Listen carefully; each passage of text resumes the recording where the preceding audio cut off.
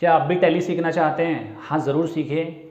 लेकिन क्या आप जानते हैं कि टैली अकाउंटिंग सॉफ्टवेयर की इतनी डिमांड क्यों है?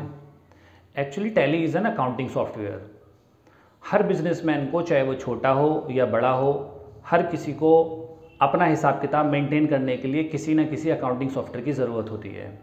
वैसे तो मार्केट में बहुत सारे अकाउंटिंग सॉफ्टवेयर अवेलेबल हैं, लेकिन टैली पर ही लोग सबसे ज़्यादा ट्रस्ट इसलिए करते हैं because Tally is a multitasking software यानी फर्म चाहे होलसेलर हो रिटेलर हो डिस्ट्रीब्यूटर हो, या आपका मैन्युफैक्चरर हो Tally is the best for everyone अब बात यह आती है कि क्या आप लोग टैली सीख सकते हैं? हाँ बिल्कुल सीख सकते हैं, लेकिन टैली स्पेशली उन लोगों के लिए है जो कॉमर्स बैकग्राउंड हैं like B Com M Com B B M B C A C S S अगर इस तरह की कोई भी डिग्री आपने भी ले रखी है तो आप भी टैली बहुत आसानी से सीख सकते हैं। लेकिन जो नॉन कॉमर्स स्टूडेंट हैं, मैं उनके लिए यही कहूँगा कि पहले वो अकाउंटिंग सीखें, उसके बाद टेली सॉफ्टवेयर सीखें। वैसे तो अकाउंटिंग की बहुत सारी वीडियोस हम भी बहुत जल्दी लेकर आएँगे। आप हमारे चैनल पर लगातार बने रहना। लेकिन आज हम डिस्कस करेंगे कि टैली पर किस तरह से एक नई कंपनी क्रिएट की जाती है। सो लेट्स स्टार्ट यहाँ डेस्कटॉप पर आपको टैली का आइकन दिया हुआ है। अगर आप टैली सॉफ्टवेयर ओपन करना चाहते हैं तो सबसे पहले आपको डबल क्लिक करना है। डबल क्लिक करने के बाद टैली सॉफ्टवेयर आपका ओपन हो जाएगा और यहाँ आपको सबसे पहले स्टार्टअप दिखाई देगा। स्टार्टअप में देखिए यहाँ पर लाइसेंसिंग ऑपरेशन आपको दिखाई देगा। अगर आपने टैली का सॉफ्टवेयर परचेज कर रखा है अपने बिज़नेस को रन करने के लिए तो आप यहाँ पर उसकी जो एक्टिवेशन की होगी, वो आप यहाँ पर डाल सकते हैं और उसको सॉफ्टवेयर को यहाँ से रन करा सकते हैं। लेकिन अगर हमने लाइसेंसी वर्जन इसका नहीं ले रखा है, हम इसको फ्री चलाना चाहते हैं तो हम यहाँ जाएँगे नीचे वर्क इन एजुकेशनल इस पर जाकर एंटर कराएँगे, आप देखेंगे हमारा सॉफ्टवेयर ओपन हो जाएगा। यहाँ आपको नीचे जो लाइसेंस ऑप्शन आ रहा है, लाइसेंस एंड सर्विसेज़, वहाँ एजुकेशन मोड दिखाई देगा। और अगर आपने लाइसेंस खरीद रखा होता है तो जहाँ आपके यहाँ पर नीचे जो एक्टिवेशन की वगैरह होती है, जो क्रेडेंशियल होते हैं, वो सब आने लगते हैं इस जगह पर ठीक है? इधर ये टैली का वर्जन बताता है कि आप जो टैली चला रहे हो, Tally dot E R P nine, उसका कौन सा वर्जन चला रहे हो? तो देखिए, इसमें सीरीज़ ए में रिलीज़ 6.0.2 में आपको बता रहा हूँ, लेकिन इससे कोई खास फ़र्क नहीं पड़ता। आप रिलीज़ इसका चाहे कोई भी एडवांस या लोअर चला रहे हैं, उससे कोई फ़र्क नहीं पड़ता। छोटी छोटी अपडेट्स होती हैं तो वो सब चीज़ें जो है, जब मायने रखती हैं, जब हमारे पास में लाइसेंस होता है। तो छोटी छोटी अपडेट से यहाँ पर टेली सॉफ्टवेयर पे कोई खास फ़र्क नहीं पड़ता है, ठीक है? तो क्योंकि हम टेली सॉफ्टवेयर सीखना चाहते हैं तो हमें क्या करना है, यहाँ पर सबसे पहले कंपनी को क्रिएट करना है। नई कंपनी बनाने के लिए आपको सबसे पहले क्रिएट कंपनी पर जाना है।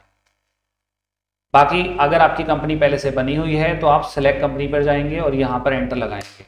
लेकिन देखिए, इसमें अभी तक हमारी कोई कंपनी बनी हुई नहीं है, इसलिए यहाँ पर लिखा हुआ आ रहा है नो कंपनीज़ ऑन डिस्क अब हम अगर कंपनी बनाएँगे तो क्रिएट कंपनी पे जाना है एंटर लगाना है। जैसे ही आप एंटर लगाएँगे, ये आपका कंपनी क्रिएशन फॉर्म खुल के आ जाएगा। कंपनी क्रिएशन फॉर्म के अंदर हम एक कंपनी की सारी वो इन्फॉर्मेशन देते हैं जो उसकी पर्सनल इन्फॉर्मेशन होती है, जैसे कि नेम उसका मेलिंग नेम उसका address country state pin code phone number mobile number and other information तो ये सब इन्फॉर्मेशन हमें यहाँ पर देनी होती है, इस लोकेशन पर ठीक है? लेकिन उससे पहले हम ये जान लेते हैं कि यहाँ पर जो आपका ये ऊपर डायरेक्टरी दिया हुआ है, इसका क्या मतलब है? ठीक है डायरेक्टरी का मतलब ये होता है कि जो आप कंपनी बनाने जा रहे हैं, वो कहीं ना कहीं किसी ना किसी लोकेशन पर तो उसका बैकअप होता होगा, वो बैकअप आपको इस लोकेशन पर मिलेगा। यानी अगर मैं इसको मिनिमाइज कर लूँ तो देखिए यहाँ जाएँगे हम this PC C drive users public public के अंदर Tally dot E R P nine और यहाँ डेटा तो ये जो आपको यहाँ पूरा पाथ दिया हुआ है, वही पाथ हमें यहाँ भी दिया हुआ है। देखिए ऊपर आ रहा है। यानी अगर मैं कोई कंपनी अपनी यहाँ पर सेव करता हूँ, बनाता हूँ तो वो मुझे इस लोकेशन पर दिखाई देगा। यानी कि सी ड्राइव के अंदर यूज़र्स के अंदर पब्लिक के अंदर Tally dot E R P nine में डेटा के अंदर यहाँ पर एक बैकअप दिखाई देगा। ये बैकअप जैसे ही हम कंपनी क्रिएट कर लेते हैं, फ़ौरन वो बैकअप वहाँ दिखाई दे जाता है। लेकिन अभी मैं आपको ये बाद में दिखाऊँगा, इसके, इसीलिए मैं इसको मिनिमाइज कर लेता हूँ। टैली सॉफ्टवेयर पे चलते हैं, यहाँ क्लिक कर लेते हैं नीचे जाकर, और यहाँ हम एक नई कंपनी बनाते हैं, उसका नाम रख लेते हैं, मैंने यहाँ पर नाम दिया J K India private limited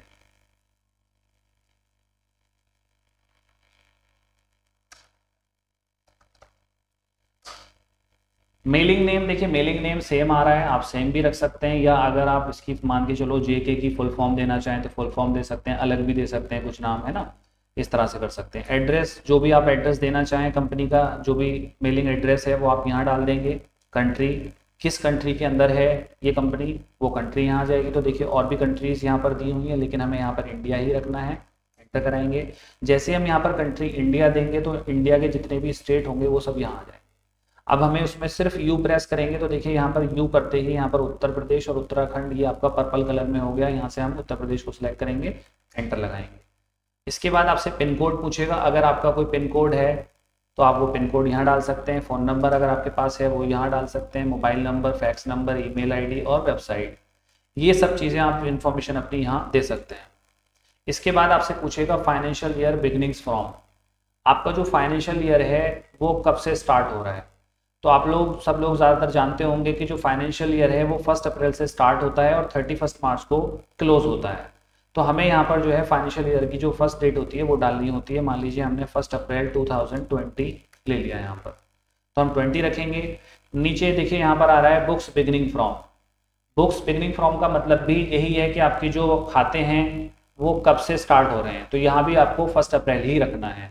बहुत से लोग क्या करते हैं, गलती कर बैठते हैं यहाँ ये सोचते हैं कि यहाँ फ़र्स्ट अप्रैल डलवा रहे हैं तो यहाँ नीचे जो है हमें थर्टी फ़र्स्ट मार्च डालना है। ऐसा नहीं है, ये भी आपकी बिगनिंग डेट ही मांग रहा है।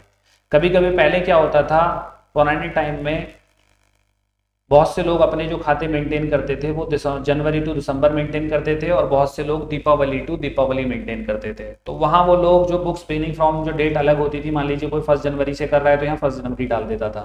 लेकिन अब ऐसा नहीं है, अब आपको फाइनेंशियल ईयर के अकॉर्डिंग ही चलना होता है। जब से जीएसटी लागू हुआ है, तब से हमें फाइनेंशियल ईयर के हिसाब से ही यहाँ पर ईयर डालना होता है।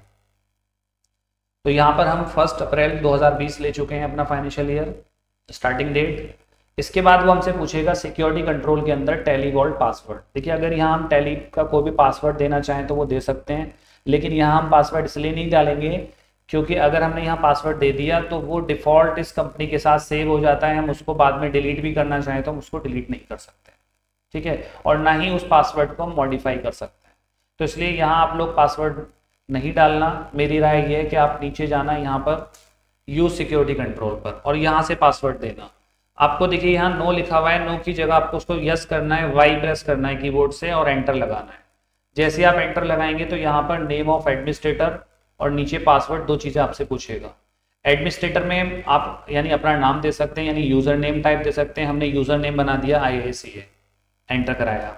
आपसे पासवर्ड पूछेगा, यहाँ पासवर्ड हम डालेंगे, मान लीजिए वन टू थ्री दोबारा से ले लेते हैं वन टू थ्री देखिए, हमने क्योंकि एक इजी पासवर्ड दिया है तो इसलिए वो पासवर्ड की जो स्ट्रेंथ है, वो वीक बता रहा है। यानी कि वो कह रहा है, बहुत आसान पासवर्ड है, आपको ये हार्ड सा पासवर्ड लगाइए लेकिन कोई ज़रूरत नहीं है टैली में ऐसा नहीं है कि अगर हम वीक पासवर्ड देंगे, जैसे ईमेल आईडी में होता है कि अगर हम ईमेल आईडी में कोई वीक पासवर्ड देते हैं तो ईमेल आईडी नहीं बन पाती है।